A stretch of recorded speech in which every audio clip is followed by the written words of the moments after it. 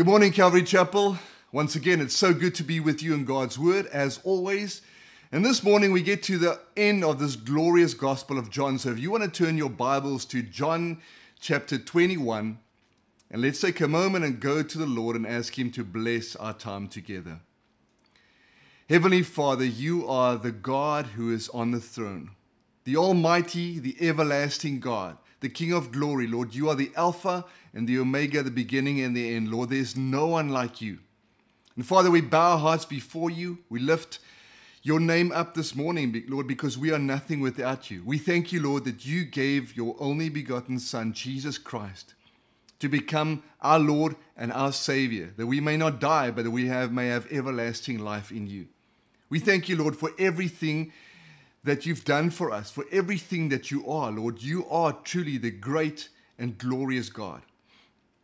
And so, Father, as we finish the gospel this morning, we want to pray as always, Lord. May you fill us with your spirit. May you empower us, Lord, to understand this message because, Lord, we want to be true followers of Jesus Christ. We want to serve you and know you and get to know you more. And so, Father, I want to pray this morning. May you have your way and may you speak to your children. We ask that in Jesus' name. Amen. Amen.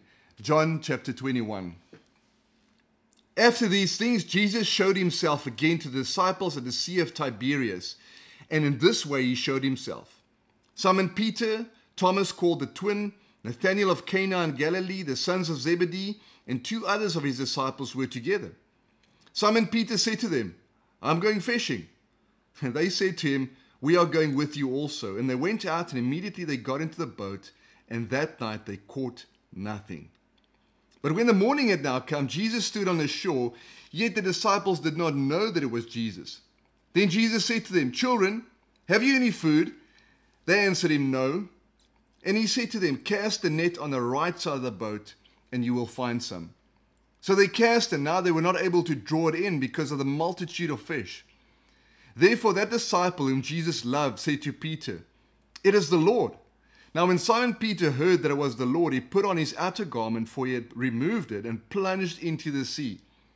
But the other disciples came in the little boat, for they were not far from the land, about 200 cubits, dragging the net with fish.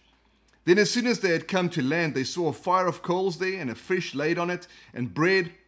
Jesus said to them, Bring some of the fish which ye have just caught. Simon Peter went up and dragged the net to the land full of large fish, 153. And although there were so many, the net was not broken. Jesus said to them, Come and eat breakfast. Yet none of his disciples dared ask him, Who are you? knowing that it was the Lord.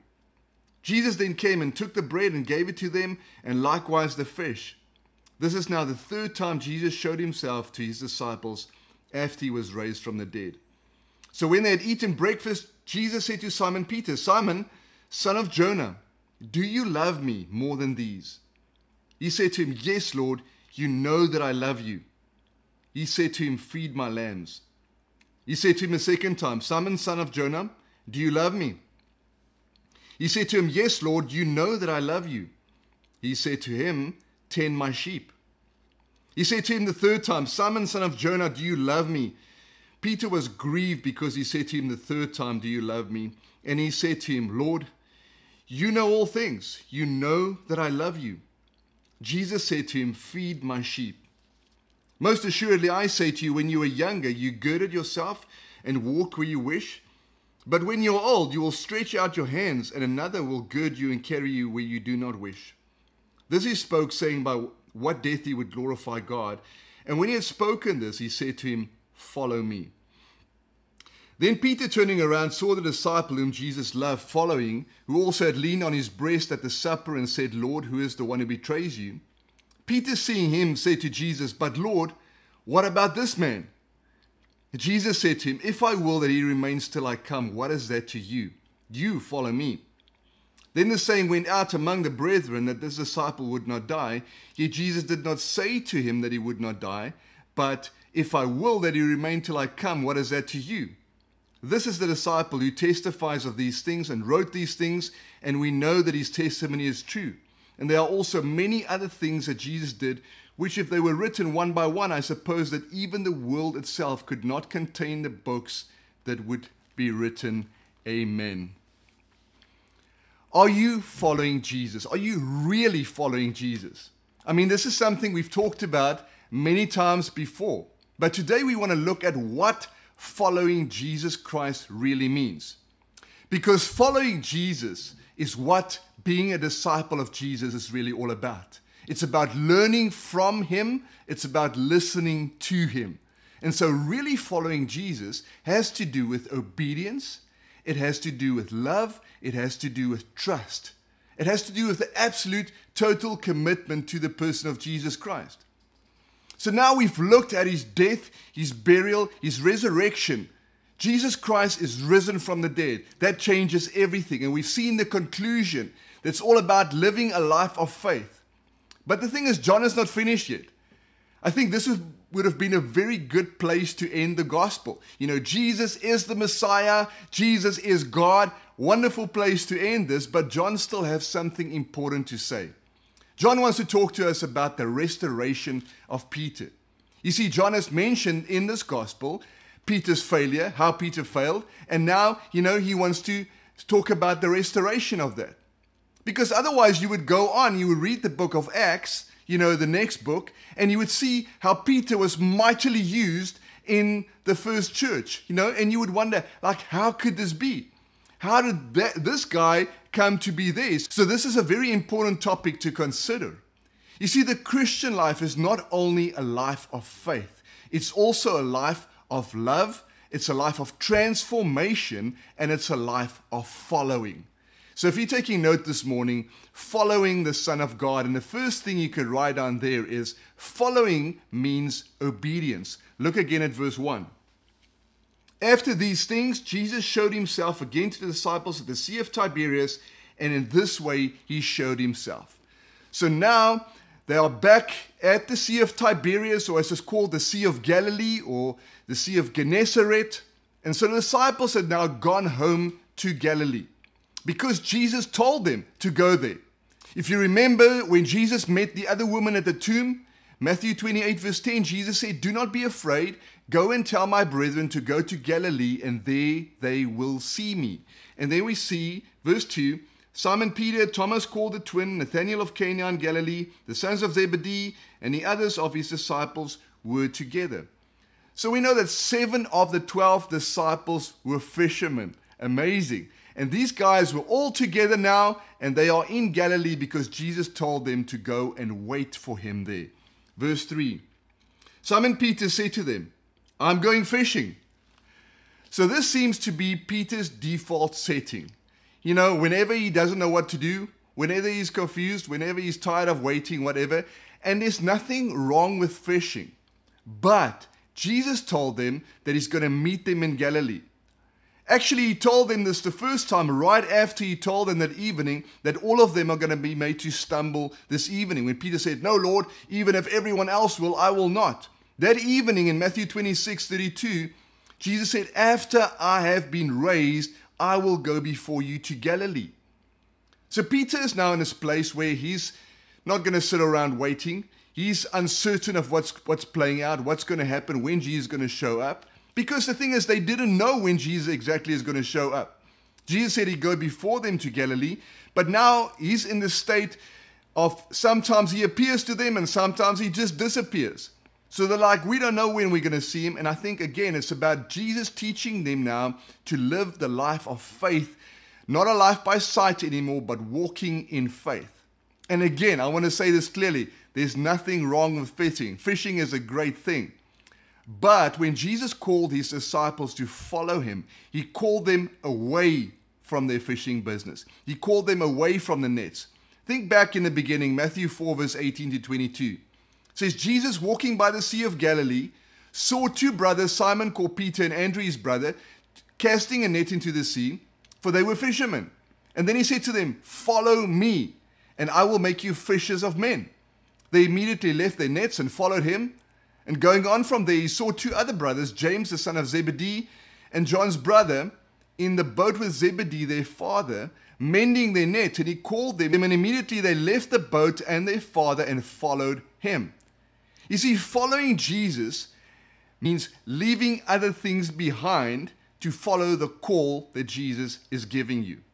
So when Jesus calls us, you know, he doesn't really just call us away from things because things are bad for us. What he really does is he calls us unto himself. And that call means we will necessarily have to leave some other things behind. We see that even every time Peter went fishing after this, except when the Lord specifically commanded him, Peter caught nothing.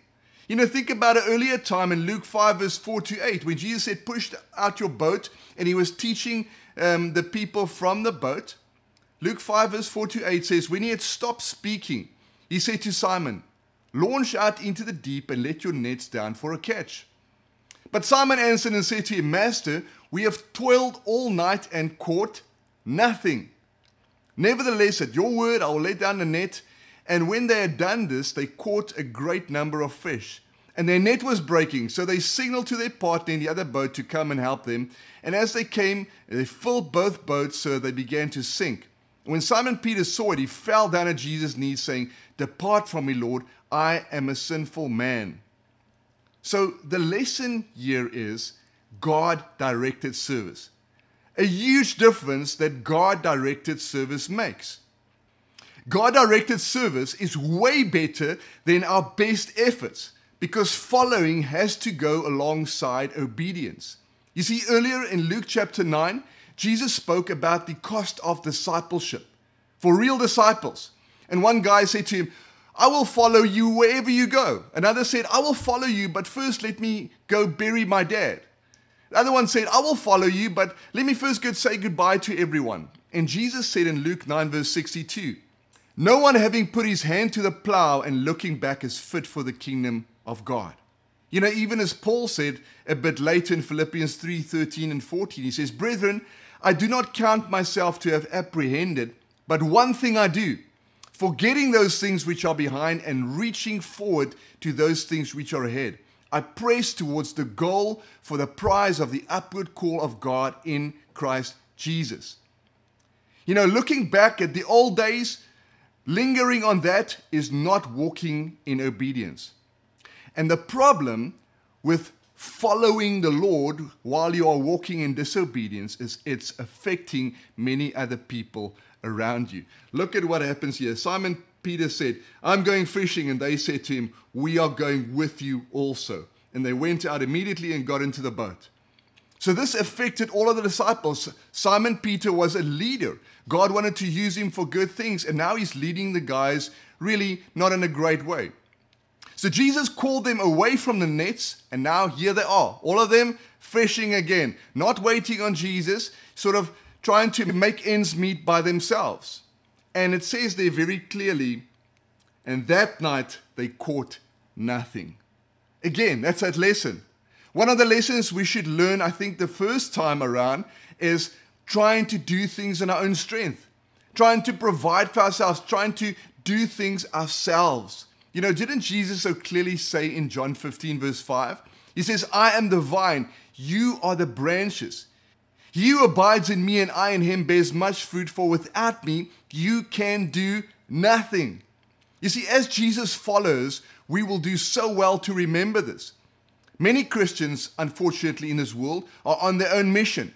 They're doing their own thing and they sincerely believe that they are serving the Lord, but they are actually doing everything in their own effort, by their own skill, by their own things. Other, other Christians you know, they try to choose their own calling instead of just following Jesus in obedience, just listening to what he says and doing it. Look there at verse 4.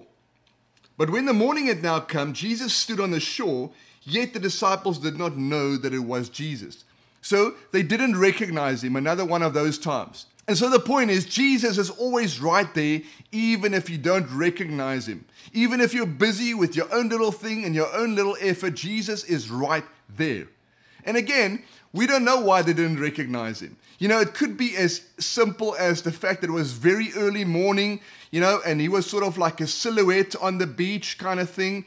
He was like an outline, a dark figure. Maybe there was a mist on the on the sea that morning. We don't know what the reason was they didn't see him, but they didn't recognize him. They saw a person.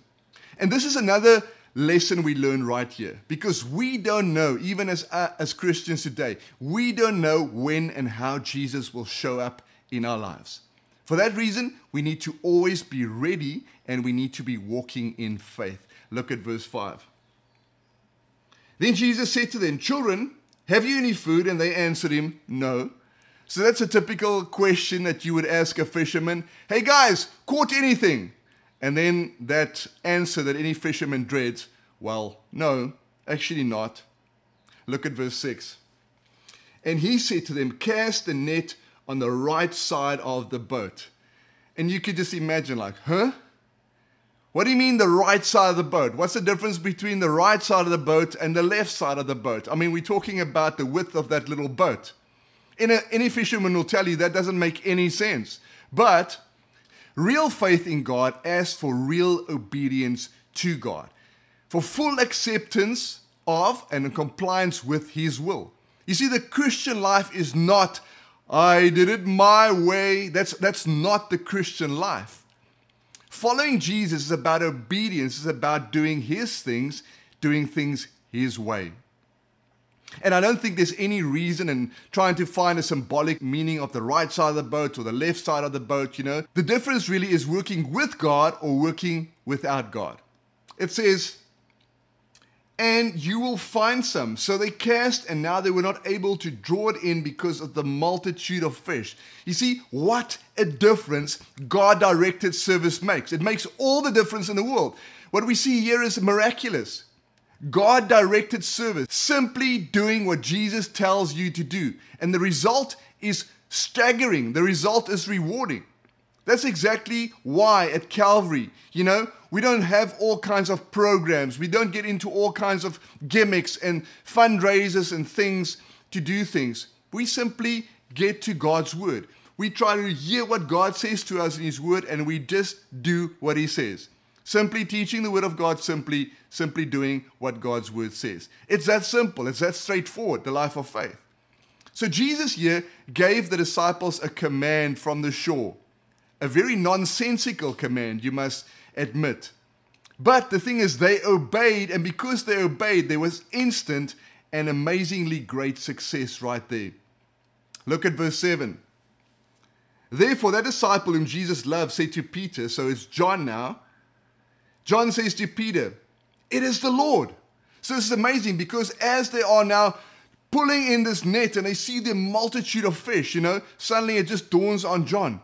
This must be the Lord. There's no other way that we can have such a miraculous catch of fish. This is God's doing. I mean, we toiled all night, we caught nothing, and it's that realization that it's not because of man's genius, not because of man's abilities, not because of some fancy program, it is the Lord.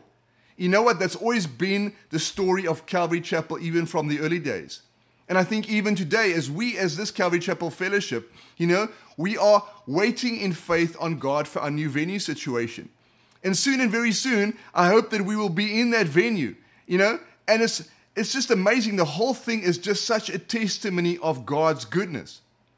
You know, that place is amazing and it's got nothing to do with us. It's not because we are a great church. It's not because we are deserving. It's simply because it is the Lord that is doing this thing out of His grace, out of His goodness. And that's the, what they experienced that day as the net was full of fish. Let me ask you are you hearing Jesus speak? Are you obeying what He's telling you to do? It's so simple. Just doing what Jesus tells you to do. For some reason, it seems to be so super hard. And so look what happens now. So when Simon Peter heard that it was the Lord, he put on his outer garment, for he had removed it, and plunged into the sea. So Peter was working hard. He was busy with a job that he knew very well. He took off his outer garment, so he was pretty much in his loincloth. So he was working hard and sweating the whole time. And so when he heard his Jesus, he quickly put on his robe and he just immediately jumped into the sea. The, the word is plunge because it literally means you just fall. You know, it's just like he just wanted to be with Jesus immediately. That's the thing.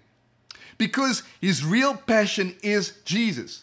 The moment he hears that Jesus is there, he drops everything else, including the fish, the boat, everything, and he swims all the way back to Jesus. Verse 8. But the other disciples came in the little boat, for they were not far from land, but about 200 cubits, dragging the net with fish. So these guys weren't even far out, as they were probably making their way back anyway. And it's about 100 meters out. And so now the rest of the guys, they drag the net, they don't pull it into the boat, they drag it behind them as they come in. And then, as soon as they had come to land, they saw a fire of coals there, and fish laid on it, and bread. You see, Jesus already had breakfast ready. They were working hard for fish all night. And the moment they get to the shore, there Jesus is already at the braai, you know, fish ready, bread ready, everything ready just to eat. It's amazing. Look at verse 10. Jesus said to them, Bring some of the fish which you have just caught. So now he invites them to bring some of their catch and to put it on the fire with what he has already provided for them, the breakfast he already has ready. Simon Peter went up and dragged the net to the land full of large fish, 153. And although there were so many, the net was not broken. So Peter was a strong guy. You know, and the, the one problem with strong guys or strong people is they don't think they need the Lord that much. You know, when you are strong in yourself, you tend to want to do things in your own energy, your own strength, and you just go for it because you feel like, well, Lord, you know, maybe you can help me when I need you, but for the most part, I'm fine. Weak people, they realize the truth that they are dependent upon Jesus. So, so Simon was a big, strong guy. I mean, he was called the big fisherman in the legends, you know. And so think about 153 big, large fish and a wet net so Simon just goes, he grabs the net and he drags it to the to the land. It means like it must have weighed like something like 130 kilograms. It was heavy. And so why 153 fish? well, we don't know. You know, it's true that biblical numbers do have symbolic meaning sometimes, but you can have a field day speculating about something like this.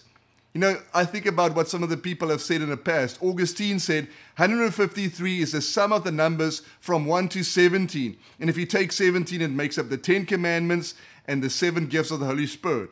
And you're like, okay, I don't really think that's what it means, but you know, you, you can probably make that application if you really want to draw it out. Someone said 153 is the added numerical value of the Greek words for Peter and for fish you know, and you have all these explanations. Like someone said there's 153 languages at that time in the world. Someone said there's 153 races that must hear the gospel. Someone said 153 different kinds of fish. And you're like, whatever. That is all speculation. We don't know why. All we do know is they caught 153 fish. I think why we know this is because Peter is a fisherman. You know, a fisherman will tell you, is was that big? and I caught 153 of them. Peter counted them, okay? So always be careful of coming up with hidden meanings of the Word of God because that is mostly speculation. God's Word tells us certain things that we need to know. The things we don't need to know, God doesn't say. To speculate about it is to go to move into error. We should always keep the main thing, the main thing, and the main thing is Jesus. Look at verse 12. Jesus said to them, Come and eat breakfast. and so Jesus says, Let's eat, guys. And he invites them to come over for, to the breakfast that he has already prepared for them. And I just love the way that Jesus reveals himself to them this time. Again, it's so natural. He's absolutely divine, but he does it in such a natural way. He doesn't sort of hover over the dune like in a soft, warm yellow glow with a halo. He just like, hey guys, let's eat. Come and have some food with me. That's awesome. And it says there, that yet none of the disciples dared ask him, Who are you? knowing that it was the Lord. So, also, as they're now coming from the boat, maybe the sun was still at the same place, you know, they're not sure. They know it's the Lord because John said so, because John perceived that in his spirit, but maybe they couldn't see for themselves yet and they're just not sure. Jesus then came and took the bread and gave it to them, and likewise the fish. Isn't this amazing? This is our Lord and Savior. The moment they come now, he starts serving them. He's serving them the bread and the fish, just like he served the multitudes, the 5,000 people, the 3,000 people on the mountain with the food. Now he serves them, he continues to serve. Verse 14. This is now the third time Jesus showed himself to his disciples after he was raised from the dead. So this is the third time that John records. We know there were some other times too. But number two, if you're taking note, following means love. Look there at verse 15. So when they had eaten breakfast, Jesus said to Simon Peter, Simon, son of Jonah, do you love me more than these? Do you love me, Peter? You see, we know that love is the most important thing in the Christian life. According to 1 Corinthians chapter 13, it gives us a beautiful display of God's love. Everything that love truly is, because love does no harm to neighbors. So, followers of Jesus Christ, if you want to follow Jesus, you need to walk in love. And Jesus now wants to restore Peter in that love. And because Peter publicly denied Jesus three times, now Jesus wants to publicly restore Peter again and make things right. Because we know private sins should be confessed and dealt with in private. It's much better that way. And public sins, on the other hand, should be dealt with in public, should be confessed in public. And so Jesus says to Peter, Do you love me? And that word for love that Jesus uses is the word agapao. That's that agape, the supreme and perfect divine love of God. And it's the highest kind of love that there is. He says, Do you love me more than these? So, you know, there are so many good sermons preached on this passage of scripture about the these. But the question is, what is he speaking about? What are the these? And to tell you honestly, I don't know. It's not, it's not that clear. Some people say, when he's saying, Do you love me more than these? He's talking about the other disciples. Because in his pride, remember that Peter said, Matthew 26, verse 33, he says, Even if all these are made to stumble because of you, I will not be made to stumble. So it's the very thing in which he failed. He was confident and proud. Other people say these things refer to his boat, his fishing business, the net, his career. But I don't think that his fishing business was really competing with Jesus because we see the moment that he sees Jesus, he just drops everything, jumps into the sea, and swims to him. So, what it probably means is Do you love me, Peter, as you claim to love me more than these? Because Peter claimed to love God more than the other disciples. And so Jesus is giving him like a retake. And he's saying, Peter, do you love me as you claimed more than these? And because the issue seems to be right here, Peter, where's your heart? Peter, is your heart still full of pride, or Peter, is there a change in you? Not that Jesus wants to know, Jesus knows already, but he wants Peter to know, just like with us always. And so Jesus is now doing it publicly to give him a chance to think about, a chance to come clean before all the other disciples that's sitting there right by him. And Peter says to him, Yes, Lord, you know that I love you. And so now Peter responds, but the word that he uses for love is not the word agapao. He uses the word phileo. That means brotherly love. So when Peter replies, he says, Yes, Lord, I am fond of you. Yes, Lord, I have an affection for you, is what he's saying to you.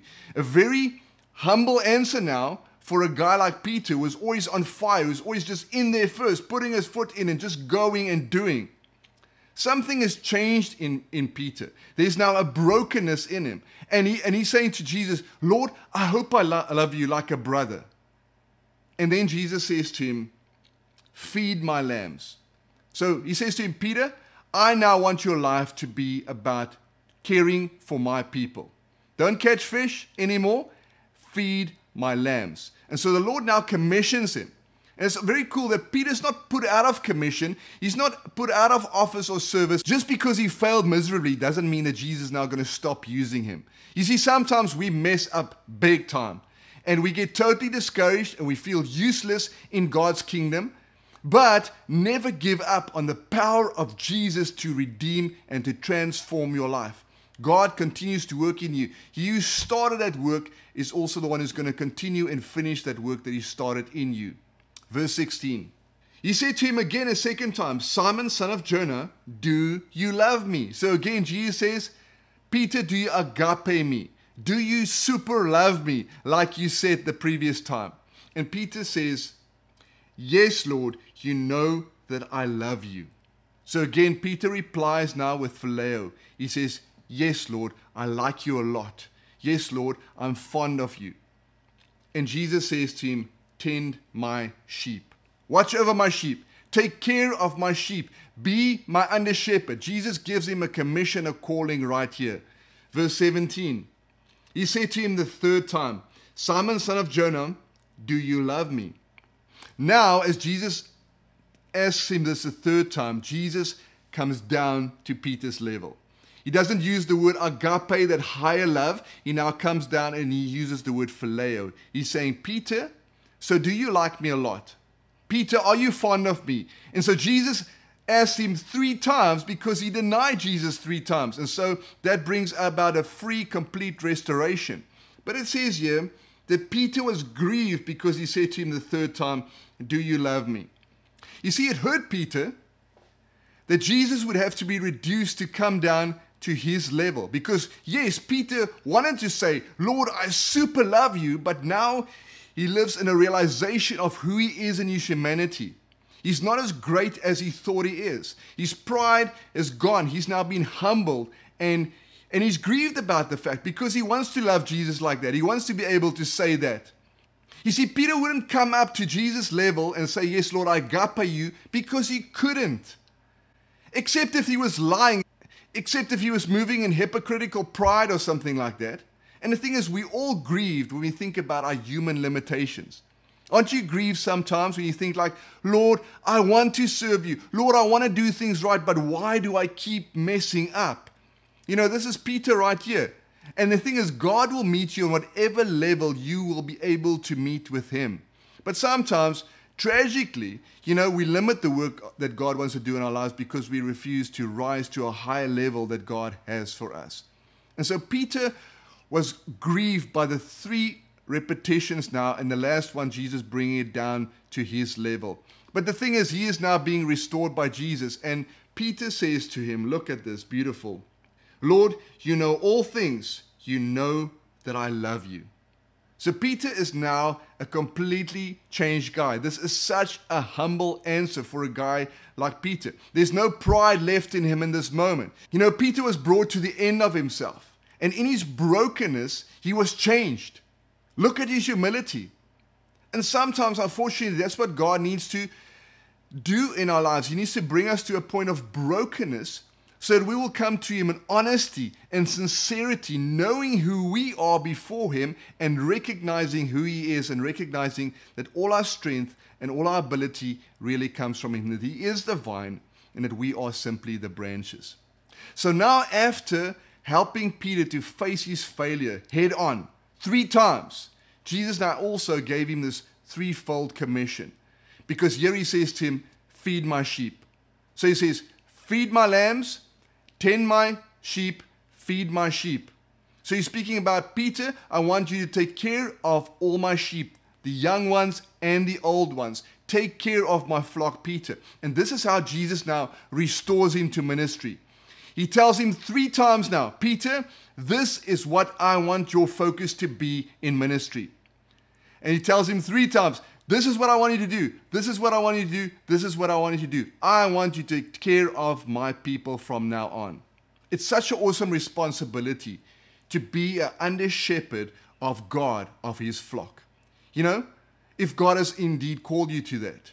Even as it says in Acts chapter 20, verse 28 Therefore, take heed to yourselves and to all the flock among which the Holy Spirit has made you overseers, to shepherd the church of God, which he purchased with his own blood. It's a serious thing, a great responsibility to stand and be a shepherd under Jesus over the flock that he entrusts you with. You know, and I think that's the same thing on every area. You know, sometimes the choices I make, people don't understand, but I don't make choices to please people. You know, it's the same with this venue thing. It's the same with the COVID 19 thing. You know, I'm not looking around and saying, like, oh, that's what that pastor is doing. Oh, that's what that church is doing. Maybe I should be doing that too. I'm waiting on the Lord. That's all I, that's all I need to do. That's all I can do. I'm responsible before Him for His people, so I need to hear from Him. You see, Jesus Christ is the good shepherd John 10, verse 11. He is the great shepherd, Hebrews 13, 20 and 21, and he is the chief shepherd, 1 Peter 5, verse 4. So every pastor's responsibility is to listen to the chief shepherd and simply to do what he says. And that may not look exactly the same for every pastor. Everyone has gotten different giftings, different callings. So the main thing is you need to hear what Jesus says to you and you need to do what he tells you to do. Because that's the way that we show him we love him if we obey his commandments, if we do what he tells us. That's how we show that we truly a follower of Jesus. Remember back John 14 verse 21? Jesus said, "He who has my commandments and keep them is he who loves me." And he who loves me will be loved by my Father, and I will love him and manifest myself to him. You see, so obeying Jesus is the primary evidence that we love him. If you love someone, you're going to do what they ask you to do. And that means that we are truly his disciples. It's just a display of our love. It doesn't mean we need to work for Jesus to love us. Jesus loves us. But the thing is, if we do the things he tells us, it's just displaying, demonstrating the fact that we truly do love him as our Lord and as our Master. So choosing to obey is really a key to understanding the spiritual reality of the scriptures. Obedience is what opens you up so the Holy Spirit can now come and minister to you and teach you the truth of God's word. So the love for Jesus Christ is the only real acceptable motivation for serving Jesus, for walking with him. Obeying the chief shepherd demonstrates that you love him and it shows that you are truly a follower of Jesus. Number three, if you are taking note, following means trust. So Jesus now continues after he's asked him about love, and he says in verse 18, Most assuredly I say to you, when you were younger, you girded yourself and walked where you wished. But when you're old, you will stretch out your hands, and another will gird you and carry you where you do not wish. So, when we are young, we do what we want to, pretty much, as most of us. But now he says, when you're old, things will change, Peter. Jesus now telling him about his future. And, it, you know, he seems quite vague in what he's trying to say. So John makes sure that we understand. He tells us exactly what it means there in verse 19. This he spoke, signifying by what death he would glorify God. So Jesus was telling Peter that he would be crucified one day. Wow. He spoke of a time when another person would bind him and carry him to a place that he doesn't want to go. It says a place where his hands will be stretched out. He's speaking about crucifixion.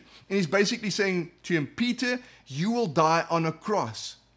We know that Peter previously told the Lord Jesus that he will die with him, but now Jesus says, Peter, you will die for me. But the thing is, Peter's death would not be a tragedy.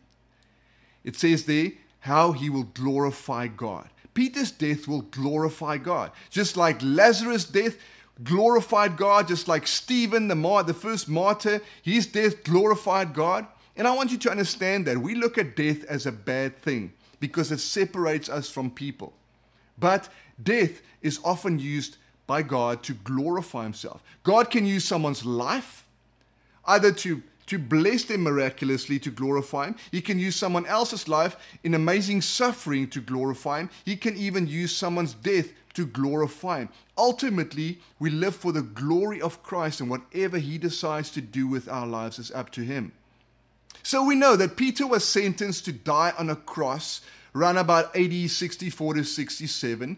And on his own request, he, he asked if he could be crucified upside down because he didn't want to, he felt like he was not worthy to be crucified the same way that his Lord was crucified. So Peter died the terrible death eventually that Jesus told him about right here. But look what Jesus says to him. And when he had spoken this, he said to him, Follow me. Literally, Jesus said, Peter, you just keep following me. Fix your eyes on me. You see, because I think it's only when we've really dealt with the issue of death and suffering in our own lives, in the lives of believers, that we really get to a place where we can just serve the Lord, love the Lord, and be a true follower of Jesus. 2 Timothy 3:12 says, Yes, and all who desire to live godly in Christ Jesus will suffer persecution. So it's only when you completely trust God with your future, whatever that future may hold, that you are really following Him as one of His disciples. Remember Matthew 16, verse 24 to 25? Jesus said to His disciples, If anyone desires to come after me, let him deny himself, take up his cross, and follow me. Whoever desires to save his life will lose it, but whoever loses his life for my sake will find it. You see, following has to do with laying down yourself, being crucified to yourself, really means trusting God. And trusting God takes faith. And sometimes trusting God takes time. And eventually, after many trials, after many tribulations, you get to a place where you just know. You just trust God because you just know Him. You know who He is, you know who you are in Him, and you know no matter what happens, you will follow Him because you know Him. It's like Paul said in Philippians 4, verse 12 to 13. He says, I've learned in whatever state I am to be content. I know how to be abased, I know how to abound everywhere and in all things. I've learned both to be full and to be hungry, both to abound and to suffer need. I can do all things through Christ who strengthens me. You know, it's like Pastor Chuck often used to say one life, it will soon be past, only what's done for Christ will last. Verse 20. Then Peter, turning around, saw the disciple whom Jesus loved following, who also had leaned on his breast at the supper and said, Lord, who is the one who betrays you? So now Peter's walking with Jesus, following him, and he hears probably something. He turns around and he sees John, you know, and Peter was doing so well at this moment. You always think like, oh, Peter, you were you were you were really doing so well. Look at verse 21. So Peter, seeing him, says to Jesus, But Lord, what about this man? Okay, Lord, I hear you, but what about John? What's going to happen to John, Lord? You see, and this is a chronic problem, I think, for disciples of Jesus, oftentimes. Being concerned with other believers' walks with the Lord, being, you know, comparing ourselves to other believers, like, oh, look what's happening in that ministry. Look what's happening in that believer's life. Oh, he is so blessed. Oh, that's going so well. Oh, he's doing that. I should be doing that kind of thing. We so often want to compare ourselves and be concerned more with our brothers and sisters than we are really concerned with our own relationship with Jesus. You see, following Jesus means trusting Him.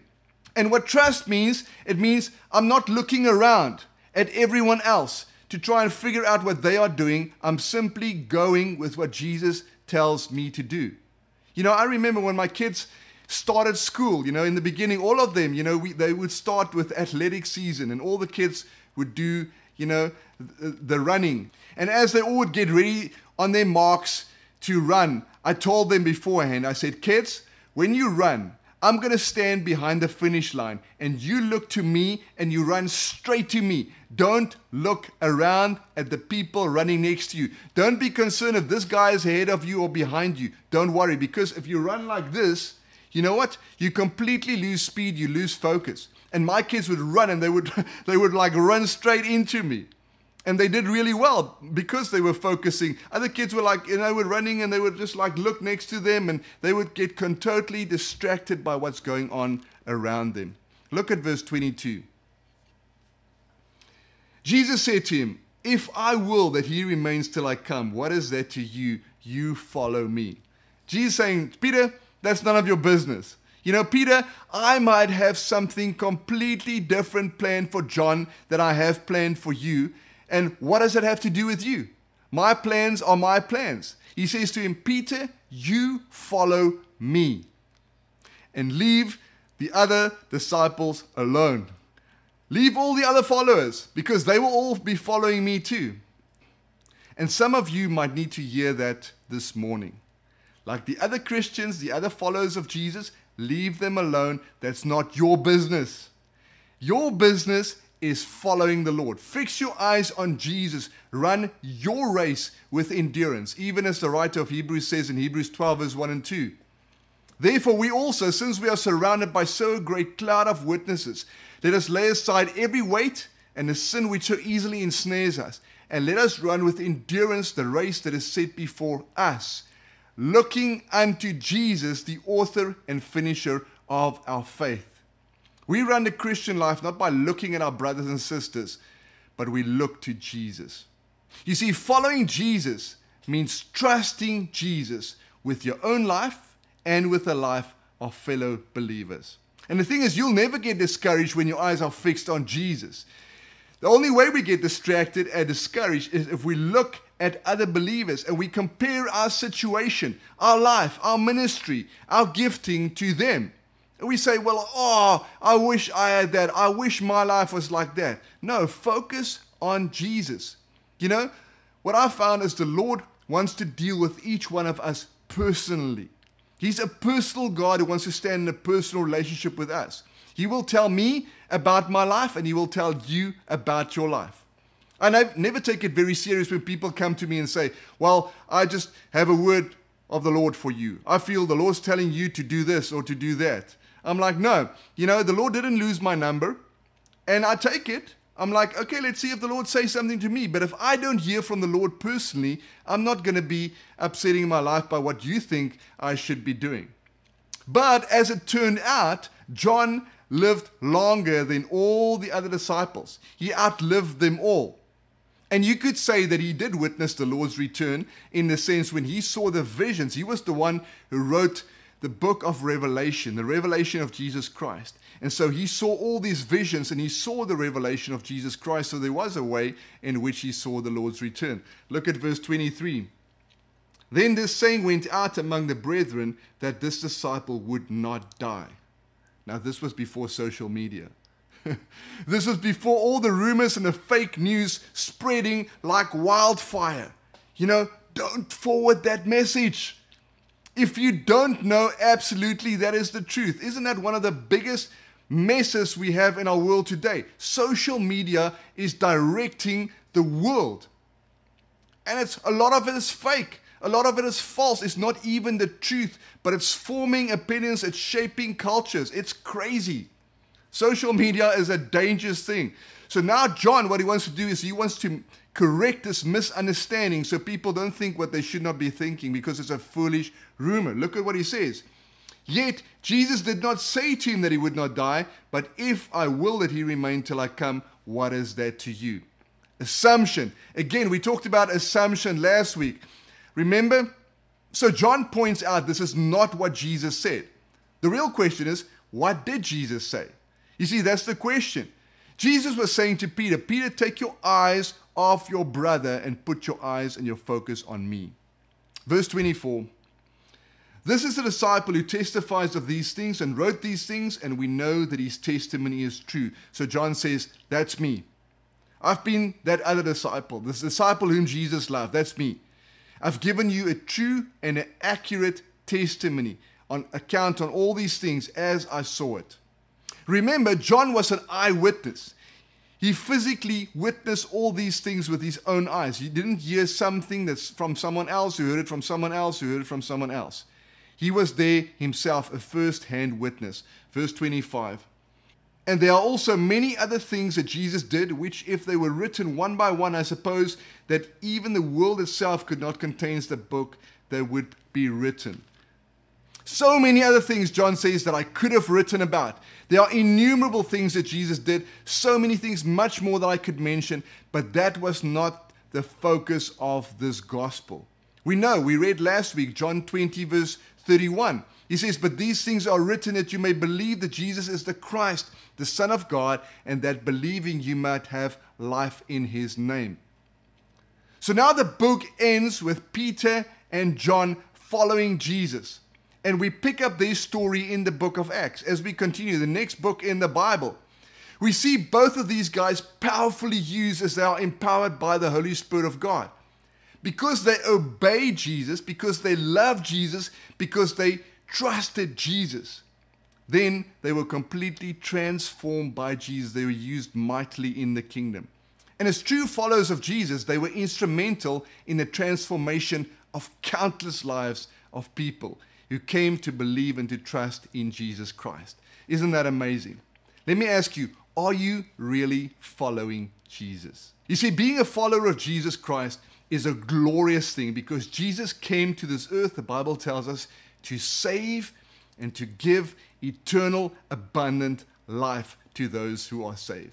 Even as we read in John 1, verse 18 in the beginning, no one has seen God at any time the only begotten Son, that is Jesus Christ, who is in the bosom of the Father, he has declared him.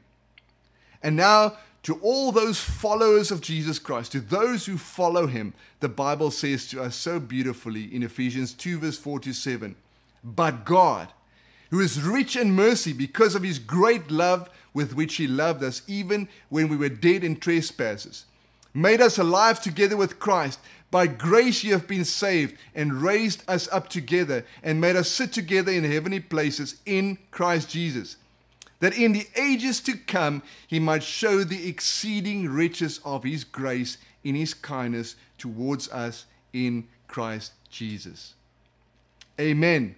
Even as the last word of this gospel says, so be it. Let's just pray.